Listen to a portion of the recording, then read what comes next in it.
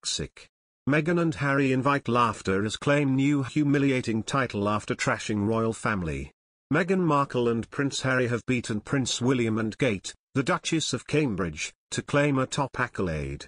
The Duke and Duchess of Sussex were revealed to be the most talked about royals of the year.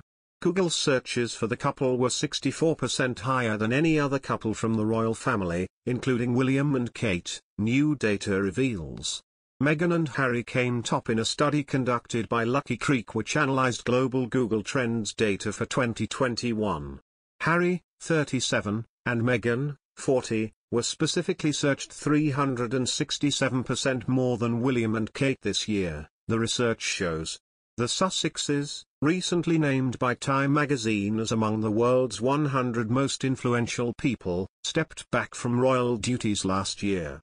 They now live in the US, where they lead a financially independent life away from the monarchy, with their two children Archie and Lilibet.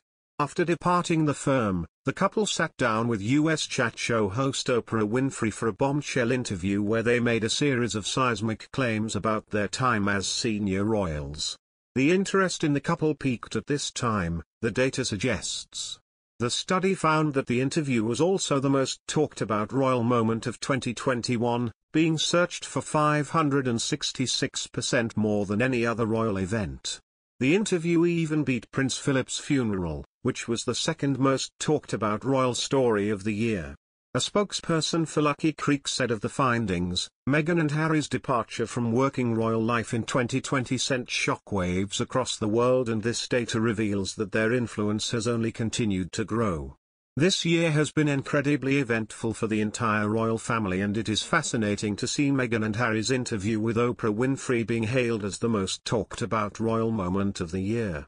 It is truly a testament to the couple's influence that they have captured the world's attention despite very few public appearances.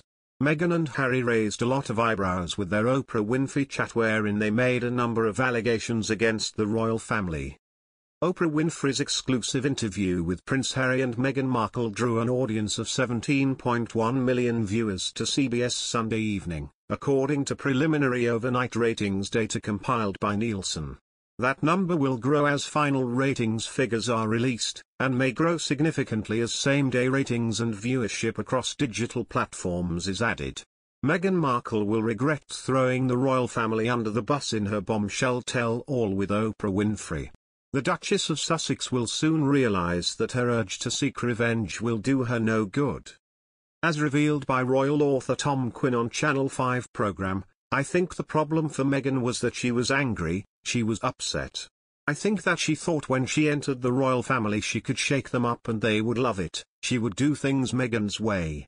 He continued, when that didn't happen and she came up against what she saw as the forces of reaction it made her so upset that, that interview was her way I think the only way for her to get her revenge and put the case as she saw it. But I think later on she will think I shouldn't have burnt my bridges to that extent. Royal pundit Ashley Pearson agreed saying, some people might wonder whether or not Meghan may live to regret all of the revelations in the Oprah interview. Oprah herself said afterwards that she was surprised that Meghan said some of the things that she did, she added. Meanwhile, data compiled for the study shows that Duke and Duchess of Cambridge, both 39, ranked as the second most popular royal couple, ahead of the Queen and Philip who ranked in third. William and Kate's most talked about moment of 2021 was their 10-year wedding anniversary, an occasion marked with a BBC documentary and an Instagram post from the couple.